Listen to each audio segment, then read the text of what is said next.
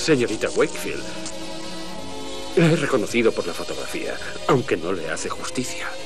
Eso es lo malo de citarse ciegas, que nunca sabes si vas a reconocerla. Ahora que me ha visto, ¿qué opina usted?